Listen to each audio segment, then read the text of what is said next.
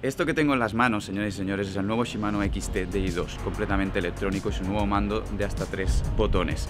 Unido a otras novedades que ha presentado Shimano en este camp, os puedo decir que tiene una de las funcionalidades más brutales, más disruptoras que he probado últimamente en el mundo de la bici y es que consigue que la bicicleta cambie de marchas por sí sola sin tener que tocar absolutamente ningún botón. Es una cuestión de algoritmos, casi de inteligencia artificial os diría, que actualmente está aplicada al mundo de la e-bike, pero atención a los que os gustan más las bicicletas tradicionales porque abre la puerta a un futuro con muchísimos, muchísimos cambios y aplicaciones tecnológicas a todas nuestras bicicletas os voy a explicar con pelos y señales todo lo que trae de nuevo Shimano.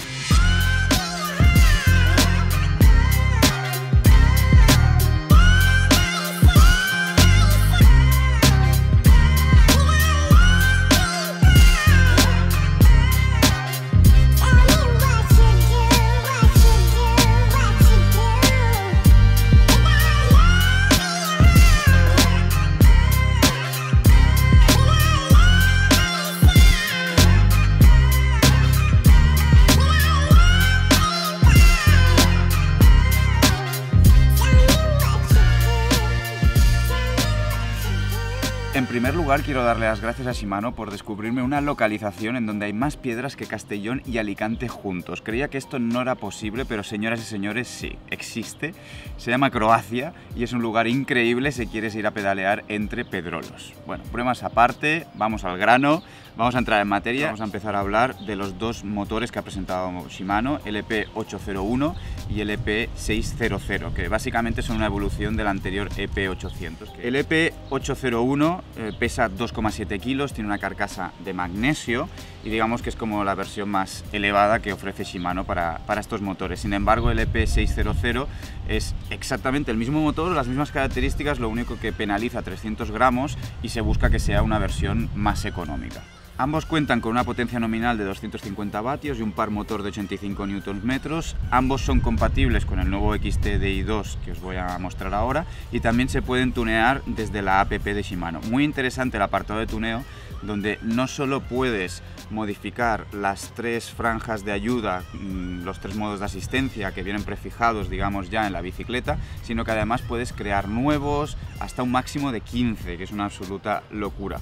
De esta manera se puede personalizar al 100% el tacto del motor, la entrega de la potencia a lo largo de cada modo de asistencia, etcétera, etcétera. Ya se vienen dos comentarios que están fuera de lo que sería la información oficial que ha proporcionado la marca en este evento, pero que creo que es importante para los usuarios de, de motores Shimano. Personas expertas en el mundillo de los motores me habían advertido que es muy probable que este nuevo motor EP801 sea capaz de entregar hasta 100 vatios más de potencia que el anterior EP800. Si esto fuese así, automáticamente el EP801 se igualaría al motor Bosch. Al preguntarle a los responsables de la marca en el evento, no me quisieron dar cifras exactas, pero con una sonrisa en la cara sí que me dijeron que habían conseguido incrementar hasta un 20% la potencia del motor en las últimas zonas, en las zonas más altas de asistencia de cada uno de los modos. Y punto número dos, uno de los compañeros de media, asistentes del evento, preguntó por el tema de los ruidos. Si habían conseguido solventar un poquito todo este tema de ruidos, de Shimano, altas revoluciones y demás. La respuesta por parte de los responsables de la marca fue eh, que habían hecho mejoras, pero no eran significativas. Vamos a ver esta sección técnica de aquí. ¿Qué tal se apaña? ¡Oh! Va cambiando mientras subo la piedra. ¡Increíble!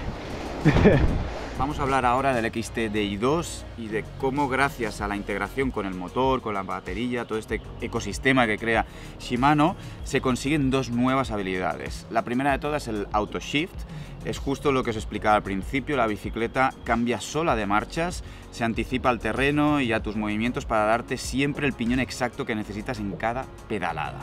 Da igual si subes un rock garden o simplemente paseas en llano. ¿Cómo funciona este sistema? Para empezar, Shimano te pide que introduzcas dos parámetros de cadencia a través de la aplicación. Es simplemente un punto de partida. A partir de aquí, y gracias a algoritmos, la centralita va aprendiendo sobre ti.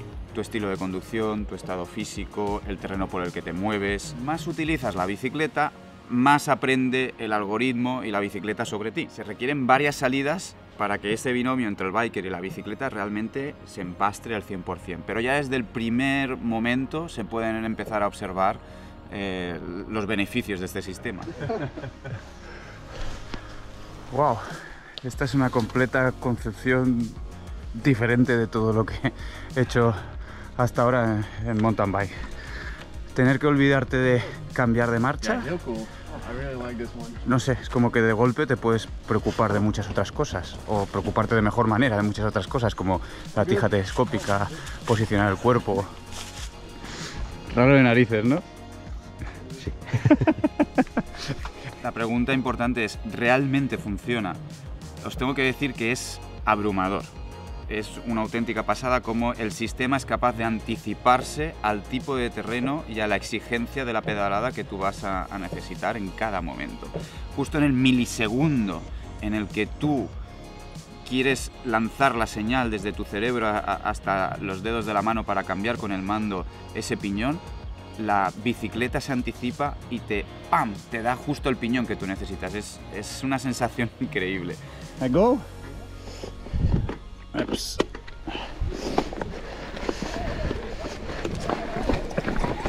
¡Epa! ¡Uepa! ¡Toma ya!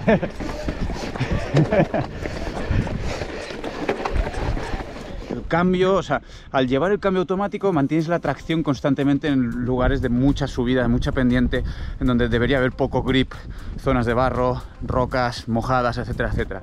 Yeah, technical climbing is perfect. Maybe also for racing.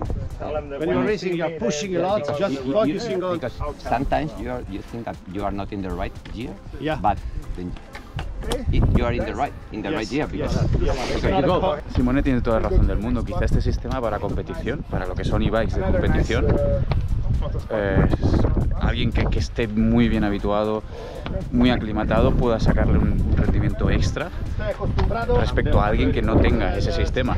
La reflexión de todos los asistentes que estábamos en el evento fue precisamente que el sistema funciona mejor cuanto más difícil es el terreno, cuanta más roca, cambio de ritmo u obstáculos encontramos en el camino, mejor predice el piñón exacto que necesitas en cada momento. Es absolutamente abrumador.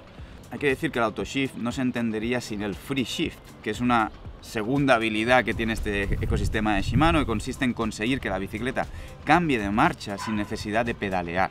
De manera que si acabas de coronar con un piñón alto y empiezas el descenso, sin mover las bielas, al llegar abajo la bicicleta ya ha hecho bajar la cadena por toda la corona hasta ofrecer el piñón que necesitas para el futuro llano o subida que tienes por delante.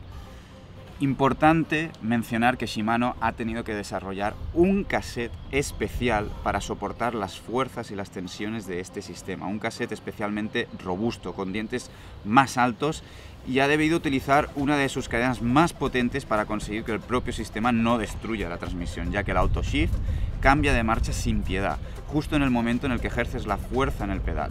De hecho, los ingenieros nos decían que les había llevado mucho más tiempo desarrollar, reforzar la transmisión que no tanto desarrollar todo el sistema electrónico, de, digamos, de, de inteligencia. También es relevante mencionar el tema del tercer botón en el mando de cambio de marchas, en donde te permite cambiar de modo.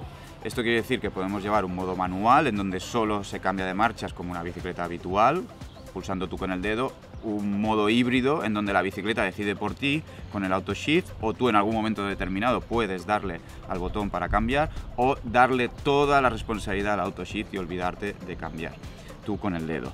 Eh, incluso yo llegué a preguntar, bueno, ¿qué pasaría si quito el mando? ¿La bicicleta funcionaría sola? Y me dijeron que sí. No tuve tiempo para probarlo, pero realmente es así. Podrías eh, deshacerte por completo del mando derecho de cambio de marchas y la bicicleta funcionaría en modo auto shift sin problemas. ¿Para quién puede ir orientado este sistema? Bueno, es interesante la respuesta a esta pregunta porque paradójicamente yo lo veo muy útil para dos extremos. El de la más alta competición y el de las personas que no tenían experiencia previa en el mundo de la bicicleta y de golpe entran a consumir bicicletas eléctricas, especialmente las de montaña. ¿Por qué este puede ser un buen sistema para la alta competición? Bueno, pues básicamente porque estamos viendo carreras en las que las diferencias en tiempo son mínimas, estamos hablando de décimas o pocos segundos, por lo tanto cualquier ventaja en tiempo que tú puedas eh, de alguna manera arañar va a ser bienvenida y si bien desde fuera, desde el nivel de usuario habitual, podemos entender que cambiar de marchas no es algo ni mucho menos que nos vaya a hacer perder tiempo, sí que es cierto que en el momento que pruebas el sistema y dejas un tiempo para habituarte, te das cuenta que al liberar eh, una parte del cerebro que se tiene que preocupar de, la- de las marchas, eh, realmente esa parte del cerebro se puede preocupar de muchas otras cosas. Especialmente si el sistema cambia muy bien de marchas, eh, llega a un punto de optimización que eh, es tan bueno como tú cambiando de marchas o incluso mejor, anticipándose al terreno. Bueno, pues todo lo que no sea tener que tener la mano preocupándose de cambiar de piñones arriba o abajo, va a ser cerebro que vas a poder dedicar a posicionar tu cuerpo, darle tracción a la rueda trasera, lo mismo en las bajadas, etcétera, etcétera. Y aunque la diferencia pueda ser minúscula, puede marcar la diferencia entre una victoria o un segundo puesto en una carrera de altísimo nivel de las Enduro e-Bikes eh, World Series o algo por el estilo. De hecho, el propio Shimano nos dijo que ya han estado compitiendo con el Yeti Shimano, eh, con, con- con el eh, Free Shift y con el Auto Shift en modo completamente automático y que los resultados han sido buenos. Así que atención porque esto es algo que tiene mucha repercusión lo que voy a decir al final del vídeo. Este sistema de cambio de marchas automático, ¿qué puede proporcionarle a, una persona que se introduce en el mundillo de las e-bikes? Bueno, pues pensar ese perfil de media edad, no está habituado a- o habituada a ir en bicicleta, llega una bicicleta que pesa bastante, doble suspensión, eh, tiene que pensar en la tija, tiene que pensar en, los bloqueos de las suspensiones y, y tiene que pensar en los cambios de marchas. Y como os digo, al final es una cosa menos de la que preocuparse y una comodidad más para esta persona, ¿no? Y ahora viene probablemente la que para mí era la pregunta más obvia y más importante que yo tenía que hacer a los ingenieros de Shimano una vez estando allí en el evento y habiendo comprobado las, bueno, las bondades de, de este sistema. Y es que aproveché la ocasión para preguntarles de manera informal a algunos de los ingenieros que estaban allí sobre la posible aplicación que tendría este tipo de sistemas en bicicletas tradicionales, especialmente las de competición, las deportivas. Y bueno, la respuesta fue interesante. Me comentaron que todavía no están trabajando en ello, pero que en un futuro no muy lejano, eh, las bicicletas tradicionales es muy probable que acaben llevando una batería pequeña que alimente a un motor minúsculo, el cual no se encargaría de proporcionar asistencia al pedaleo, sino de activar cualquier sistema necesario como el cambio de marchas automático, como la activación de la tija telescópica, como la activación de las suspensiones, abriendo y cerrando eh, los bloqueos, la telemetría de las propias suspensiones, todo unido en un solo ecosistema en donde el biker no tuviese que preocuparse de tocar absolutamente ningún botón, solo las palancas de freno. La bicicleta lo haría absolutamente todo por ti. Abriría suspensiones en el momento de la bajada, bajaría la tija telescópica en el momento que asoma la bajada, la volvería a subir la, la tija telescópica en el momento que necesitas eh, pedalear sentado porque viene una subida, etcétera, etcétera. Una vez más, esto podría ser altamente apreciado en el mundo de la alta competición, en donde ganar unos pequeños gramos penalizando pues ese motor, esa mini batería, etcétera, etcétera, a cambio le daría al biker de alta competición la posibilidad de generar pequeñas diferencias de décimas o de segundos en, en algún apartado técnico, en algún segmento mm, realmente complicado. ¿Cómo lo veis vosotros? ¿Realmente sois amantes de ir hacia bicicletas prácticamente autónomas, de que la tecnología envuelva todas estas bicicletas como si un Williams de los años 90 se tratase, de Fórmula 1? ¿O sois más de la vieja escuela, preferís tener el control de todo lo que hacéis encima de la bici, tener cables, cero electrónica, no sé? Sea como sea, dejádmelo en comentarios que tengo ganas de conocer el debate que se va a generar porque ostras, esta es una tecnología que realmente creo que supone un antes y un después, si realmente se sigue aplicando a lo largo del tiempo en toda la gama posible de bicicletas. Y sobre todo no olvidéis suscribiros al canal, ya sabéis que van a venir más vídeos molones como este, así que nos vemos en los próximos días. Sed muy felices. Chao, chao.